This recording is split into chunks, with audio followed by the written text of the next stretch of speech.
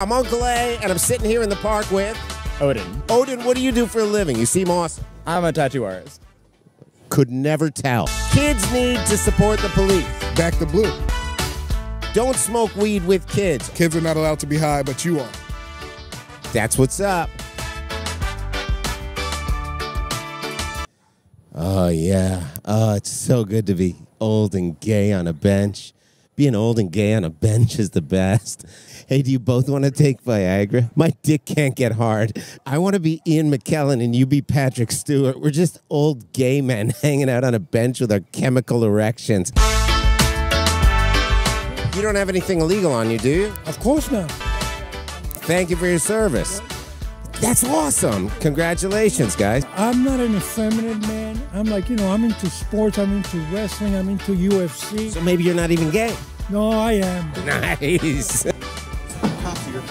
I don't think I can say that. I was a medic, a, a hospital corpsman with the Marines, but I never carried a weapon. But you did. Yes. I bet you still do.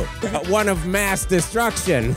Oh, no. Please, I'm a good Christian. Would you smoke weed with a cop? Of course. All right, one, two, three, arm the police.